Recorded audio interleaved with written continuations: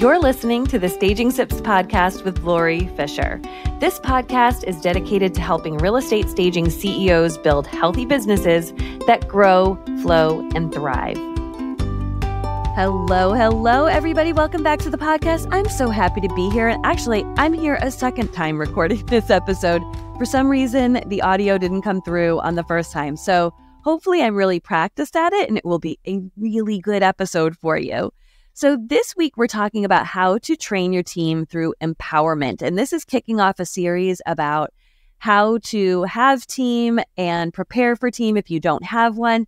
And even if you don't have team yet, and maybe it's not even on your radar, this might just be helpful for you to listen to just to hear the way I think about it so that if things change, you know, we can redecide in our businesses all the time. But really, next to you and your inventory, your team is really your most valuable asset. And maybe at times they could be more valuable than both of both you and your inventory when you get them up and running. Because um, when you have a solid team in place, it allows you to really begin to reduce your stress level, work with more people, work with more people efficiently, and allow you to step back and stop being the technician, like it's called inside of the E Myth Revisited. And, you know, it really requires a, a variety of skill sets that um, we may or may not have had experience with in our pre- previous lives. Developing a team requires time, first of all. It takes time not only to bring on a new team member, but then fully train them and get them comfortable with you, your processes, your systems, your style, your aesthetic, all of it. It takes patience. This is the part that's probably the hardest for many of us. When you bring on someone new, it absolutely slows you down. You also will find out very quickly all of the ways you didn't think to be ready to have this person on board and things that you didn't explain very clearly and documentation that you didn't have. It's really, it takes a lot of patience and grace, not only for your new team member, but for yourself. There's a ton of personal growth that happens. Many of us are stopped by perfection paralysis. We worry about our clients only wanting to work with us. We worry that a team member might do something that could jeopardize a relationship or not have uh, our aesthetic dialed in quite so well or the way that they talk to clients. All of that, it takes a lot of letting go and allowing for things to happen that, you know, maybe you didn't anticipate. Maybe it's, you know, you need to allow for something that went wrong that you need to kind of work through and fix with your new team member. So it really takes a lot of letting go of that per- perfection and need to kind of be the one who's doing all of it. And up until this point, you've practiced doing everything really, really well. And so it's going to be hard to let things go because you know that you could jump in. Every, I hear it all the time. I just want to jump in because I know I can get it done faster. But that's not the point. Eventually, that's true now. But if we're future thinking, what will happen is is that team member is going to handle it for you without you even knowing it and they will handle it extraordinarily quickly. And i have found in most cases way better than i have done it like way better. When you hire the right person they're going to be a thousand times better than you at their particular area of your company. Uh, it, developing your team is going to require that you have systems documented processes in place frameworks documentation ongoing education and what we're going to talk about today is empowerment. So, this is really for that accelerate business owner. We talk a lot about team in Rethink You Accelerate. We talk about the challenges of team, how to better work with our teams, strategies, and things like that. So, if you are a business owner who is at that phase where you're thinking about hiring, you're you're leveraging your own time a little bit too much, and you're getting ready to hire, you're really the ideal candidate for that Rethink You Accelerate program. And that link is always in the show notes for you. Enrollment is open for you when you're ready. And that Accelerate takes you right through to the phase where you are starting to no longer really be the middle manager in your business, where you actually have team developed enough that they become the manager for your for your various uh, departments in your business. So Anyway, let me just dive in. So we'll we'll be talking about in the future episodes, these next couple of episodes, We'll be talking about the mechanics of systems and processes, but today is really about empowerment. I also want to point you back to episodes 17, 18, and 19 that are also all about team, how to begin to hire the ideal uh, team member by using filters, as well as um, how to love up on your team and all that good stuff. So go back to those episodes if you haven't listened to them or just listen to them again. So let me talk about empowerment, what it is, why it matters, and how you can begin to empower your own team members in a variety of ways. So, first of all, the, just the straight up definition of empowerment is authority or power given to someone to do something. Very simple, straightforward. But when I read things like authority and power given to someone, that really means to me that a high level of trust needs to be established. That's like, that was the first thought I had when I, I looked at the definition of this. And the other thought I had coming out of it was that this doesn't happen always right away, that empowerment is a process. And just like we talked about in our episode last week about planning for your 90 days, that fractions of actions, empowerment happens through a variety of fractions of actions and a kind of uh, a, a fractions of letting go and fractions of training and seeing how it plays out and swooping in and and helping that team member troubleshoot if, if needed and things like that. So you can really see that empowerment is a process. But if you have a philosophy that you're going to empower your team, it can really help training them so much better. So let I want to I want you to think about it like this. If I were to ask someone in my family right now to bring me a glass of water, um, they might show up with the wrong size glass. Maybe I wanted a tall glass and they've brought me a short glass. They might have brought me water that's warm when I wanted water that was cold. They might have brought it without ice when I wanted ice. So you can see just simply by asking someone, Would you mind grabbing me a glass of water, please? could actually be so vague that they don't get it exactly the way you want it. So imagine now your staging team when they're tasked with working with clients at a consultation or eval or they're installing a vacant and how much is really open to interpretation, even if you thought you've been clear about the way you like things to be done. So you can see that you're not necessarily going to know right away all of the ways that you need to share and communicate what you want to have done and how you want it to be done. And your team is likely going to do one of two things. They're either going to wait for super clear direction from you, or they'll be always checking in, especially in the beginning, to make sure that they're doing something right because they really do want to do it the, the way that you want it to be done. Or they're not going to they're not going to do it the way you'd want to. They might take their own initiative and do something, make an executive decision. It may not be exactly what you'd want them to do, but they're at least trying to stretch their wings. So you've got a couple of scenarios there when you're um, about to go out into the world with your team that will happen. And it's really about how you think about it. Um, each one of those scenarios that is really going to help you navigate bringing on this new tem- team member and getting them up um, up to snuff a lot faster. And here's why it it matters to think about this ahead of time and to think about that you're going to come from a philosophy of empowerment because most likely this is going to be one of your first experiences as a brand new trainer or a brand new manager without some existing business scaffolding around it, right? So you may have had management experience in the past, but there's already an existing, maybe there's an existing business if you're not a serial entrepreneur and serial business owner.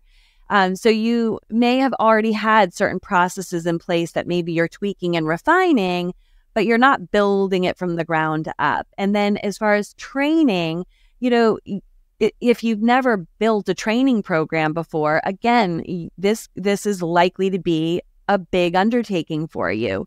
So just, you know, give yourself some grace that and empowerment yourself that you're going to be learning just as well as your new hire will be learning as you go. When empowerment is part of your leadership model, though, it's got powerful results. This is why it really matters. According to a study recently reviewed in Harvard Business Review, leaders who were perceived as more empowering were more likely to delegate authority to their employees, which the employees appreciated having that trust, you're going to ask for their input and encourage autonomous decision making. And those those employees marked themselves having happier, more fulfilling work environments than those bo- those teams that didn't have as empowerment at the core of its leadership. And the cool thing is, it works with our human brain's natural desire to feel trust and to be trusted. There's neuroscience behind empowerment. And you know me, I'm a geek. I want to share with you all of the ways that our brain functions so that it helps us in our results triad with the beliefs and actions, like our thoughts and our beliefs and how they drive our actions. But empowerment and trust are closely re- related. So I just want to have a caveat here when we're talking about the neuroscience of empowerment. Many of us were raised not to even trust ourselves, never mind trust others. This doesn't serve us in our businesses because as we go about developing support eh, for our team, it does not serve us to not trust our teams and the people around us. So this is a learned experience. So when I'm sharing with you the neuroscience of empowerment, I am I am sharing what has been studied in a laboratory that has been reproduced that it means that our uh, we our brains are wired for trust and for being empowered even if you don't believe it that's you've likely been taught not to trust that's a learned thing versus an actual like physiological biological thing so let me dive back into it. Okay, so lack of trust in our community is counter to how our brains actually function. Our brains are wired to trust one another. Working together has always been the key to survival of our species, and a new study has shown that our brains actually need and want to feel safe taking risks and expressing opinions. When we are trusted, oxytocin, a really feel good hormone, is released in our bodies. And if you've listened to me at all before, you will know that feeling good and positive produces better and higher thinking and better and higher results. So, by being an empowering leader and delegating and asking for input and encouraging decision making, all of that leads to feel good hormones being released in our team members so that they actually think more effectively, they perform more effectively. It's really kind of cool. So, how does all of this work into your role as developing your team? Well, there are several ways that you can use empowerment and de- developing your team. So let me tell you what they are, and then we'll dive into each one of them. So the first is building a culture of trust. The second is that you should expect mistakes and communicate that you know there's going to be a learning curve. The third one is delegating problems, not tasks. The fourth is getting curious. The fifth is showing empathy and the sixth is showing uh, supporting growth opportunities. So let's dive into each of these individually so that you can understand how you can incorporate these things. So the first thing is building a culture of trust. Building that idea that we are in this together, that we are sharing, you know, sometimes some crazy experiences, some weird experiences, but we're in this together. We are a team, and that together we are creating tremendous results in moving our clients' lives forward, literally and figuratively.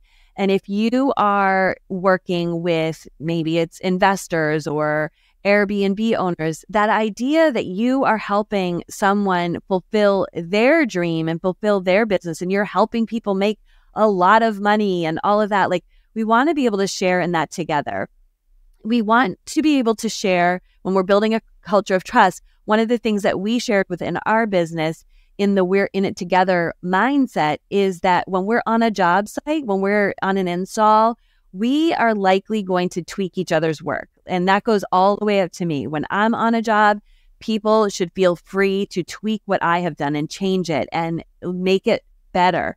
We're in this together. Some of us have better strengths and uh, some of us have areas of opportunity. We can all learn from each other, but it's nothing personal, that it is just about creating the very best result with what we are doing with one another. So we do it a lot with like in the beginning when a, a new team member's on we tell them we're going to tweak your work and you're you're going to be able to tweak ours. Like when we're on a site if you see something that i have placed and you think it could be better? Go ahead change it don't worry about it we're going to do it and move on we're not so attached to necessarily being absolutely right or absolutely perfect. We want to make sure that the team gets that we're building trust. It's not personal.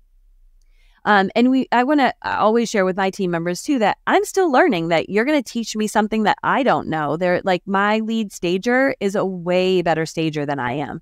I'm always learning beautiful new ways to create accessorizing moments and coffee table arrangements and everything from Lisa because she's just so talented at it. And so she's forever tweaking my, my work and always for the better result. It's really, really awesome to see. So building that culture of trust is really, really important.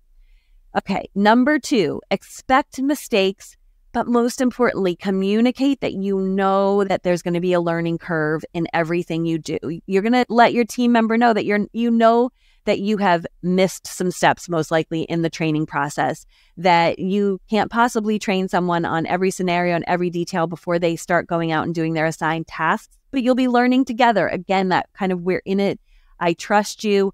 We're we're learning together. Listen, if something goes wrong, don't worry about it. We'll handle it. It's not that big of a deal at the end of the day. And especially for us, I mean, we work with a lot of repeat clients. They absolutely love us. They absolutely love our team.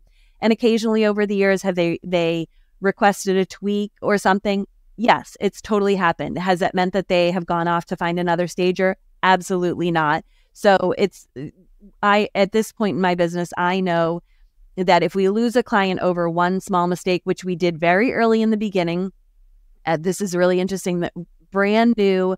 I had hired uh, Lisa, my lead stager, and my admin in April. And that summer I went on vacation. So it was July, and we had a client where she requested a staging appointment and she wanted it in a certain timeline. And I was away, and Lisa was not available, and she has never worked with us since. And I was actually so happy that that happened because I always found her a difficult, demanding client. And I felt like fantastic. If she's not willing to wait four days, I think it was, for the next available appointment, then she's not a client that we want to have. So, but I had told Lisa when I was going away, do not feel like if a client is asking for an appointment that you've got to rearrange your life to make it happen. Let them know when your next availability is and if it works, great. And if it doesn't, that's fine too. I let, I gave her that permission. So she felt empowered to let this client know when the first available appointment was without eh, just causing a great upheaval to her life. So you want to also let them know correct any correction and guidance isn't a reflection of them just like i said it's a reflection of you learning how to best communicate what you want because really that is what's going on so you're not going to necessarily know everything you have to say just like i've said before so let them know that ahead of time that it's really a reflection about you and just making sure that you um, we are just taking an opportunity to share even deeper what you like, don't like, what you expect, etc. Okay, so that's expecting mistakes and communicating that ahead of time. The third one, delegate problems, not tasks. When you delegate tasks, our team members don't believe we have faith in them doing more than just checking off the to do list. And really, what we want is when we have team in place, we want them looking for problems that they can solve for us. They can help us solve. We want to encourage that problem solving mindset. And when we delegate a problem, our team gains a fuller engagement about how to solve for the problem. So if you're sharing a problem of, um, I don't know, the way that inventory gets uh, restocked or something like that, we share the whole reason. Say, you know, one of the things that we keep encountering is like for us, lampshades always mismatch. We're always encountering issue with lampshades mismatch, not having, we think we've got two of the same on site. We don't have two of the same on the site. Let's think about how, like, can we think of a process by which we could actually, you know, fix this, solve this? So we went through this problem solving thing where we started you know, researching and looking and finding. And it ended up just being a super simple. We ended up getting out the label maker and we spent a good part of a day matching up lampshades to each other, then lamp- matching them up to their respective lampshades, and then labeling them with the label maker so that you knew which set went with which. But it took a little time for us to kind of think about how could we get this done. And I think we even tried a couple of methods but I tasked the team with figuring out how to solve for it. I didn't I didn't do that. I thought the team is the closest to this issue. They know that it's been not great being on site and then you turn on two bedside lights and the shades are casting a different light because they're not the matching shades. So that's an example of when we want to delegate a problem, not a task. Um, so, oh, and here's another great example of a problem sol- a problem solving thing. We always were having in the beginning with new team members who were getting used to our consultation, our eval process. Um, clients being resistant to recommendations during those styling evals. So we talked about how could we solve for this. So the team created a how to prepare for your styling evaluation appointment that we send to each of our clients now, where it talks about how we're a team and how a camera photographs your space and how we might take something out of the closet that you've tucked away for 20 years and we're going to use it in a new way. We may even shift your furniture around, but it's all because we know how a camera captures a space, all of that good stuff. We talked about, so that was the first thing. Then we talked about what would happen um, like how do we introduce the uh, what we're going to do at the beginning of the appointment. How do we talk to the client? How do we explain to them what's going to happen? So that right from the very beginning the, we are telling the client that we're going to make some recommendations that it's up to you to decide what you want to implement and what you don't. These are the best recommendations that we have based on a decade's worth of experience doing staging work and having really successful sales, but it's up to you what you decide to do. Like all of that stuff is really important to share with the client. We also brainstormed at one of our Fab Friday meetings how we've overcome objections and what's the languaging that we use when we're overcoming objections. And that really helped us all hear how we have each handled something to reduce resistance for our clients. One of the ones that came up was that I'm simply going to tell you everything that I see that I think should be done based on my experience. Um, because really, at the end of the day, what I don't want to have happen is you have showings and people give you feedback and I didn't say anything to you and you're going to wonder why I didn't. So I'm just going to share everything with you. Like that was really good verbiage for our team to pull together out of that session because it really does help the client understand, oh, okay, yeah, they do have to say everything, but I don't have to necessarily do it, right? Um, and we shared, and we shared, meaning me and my lead stager who was training our newest team members, that we understand that clients aren't going to do everything 100% every time. So that they should not feel responsible if the listing photos go live and they're not absolutely perfect. You know, all we can do is give the recommendations. It really is up to the client at the end of the day to make the decision how they want to completely go through our list and how they want to present their listing. So that really helped our team from an empowerment perspective really begin to overcome objections and showed that I'm here to listen, I'm here to support, and we're here to help each other navigate a problem versus just tasks. Okay. The next one is to um, get curious. So get curious. So ask your team why they approach something the way they did. So if you're um, doing vacant installations, which is I think mostly where this would come up, you know, ask your team why they approached something the way they did and what was their thought process. You might be surprised at what they they come back with. And it might be an opportunity for you to work with them, you know, even more on helping them dial in their um, ability, you know, their styling abilities or whatever. So you want to go first to that. You want to seek to understand before you start just assuming that you know why they made a decision that they made. Um, again, super, super empowering just to get curious and just to ask them why. Next step is showing empathy. Don't forget what it was like for you when you just started your staging business. I think a lot of us look back at our first styling photos and online listing photos and we're like what were we thinking you know so allow for the learning curve with your team it's part of the process you may have to go in and, and teach and educate and tweak things a little bit for them with them for a while. But eventually you can let go. And eventually you can even let go and see things that you're like you don't think are exactly perfect but you're willing to let them go and and be put out on the MLS, even if they're not exactly 100% perfect. Uh, that's a that's a big i think that's a bigger hurdle to get through. And that takes some mindset work to be like oh wait you know what? It doesn't have to be super super super spot on perfect every single time we go to market and still have a successful sale and a happy client at the end of the day. So that is that just takes time and and giving yourself a little bit of grace to just let that go and see what happens kind of experiment. So show empathy to your team when you're tweaking them and be like, listen, I, if you saw my first pictures and maybe you even share them, like this is the work I was doing. Um, and to just let them know you you remember what it's like to be where they are. Support growth opportunities is the last one. So let your team teach each other and you new concepts, ideas, strategies they're learning. Invest in online programs for them. We've invested over the years in various programs to help our team feel more confident with color and styling and all of that. We routinely go to our local design center for presentations. We go to our Sherwin Williams color programs. Anything that you can bring to your team to help them with ongoing education.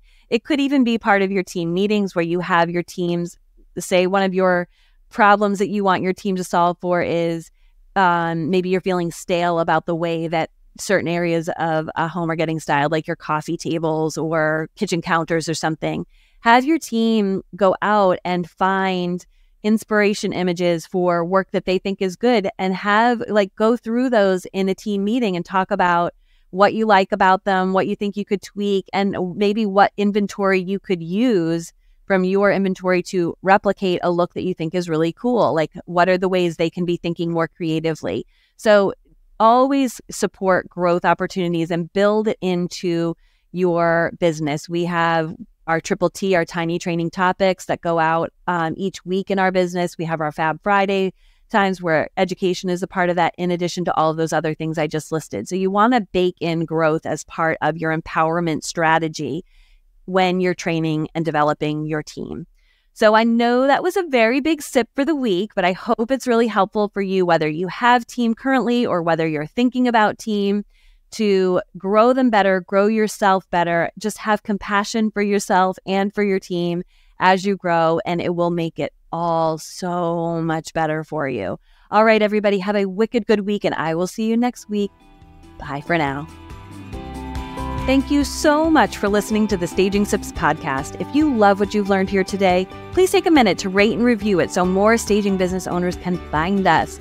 And if you want to learn more about how to market and grow your staging business more strategically, I'd love to see you join us inside of the Rethink You Accelerate Mentorship Program.